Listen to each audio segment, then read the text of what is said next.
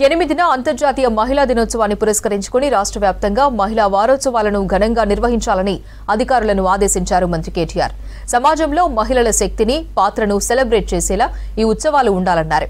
మంత్రి కేటీఆర్ సూచన మేరకు మహిళా దినోత్సవ వారోత్సవాలను నిర్వహించేందుకు కార్యాచరణ ప్రకటించింది పురపాలక శాఖ.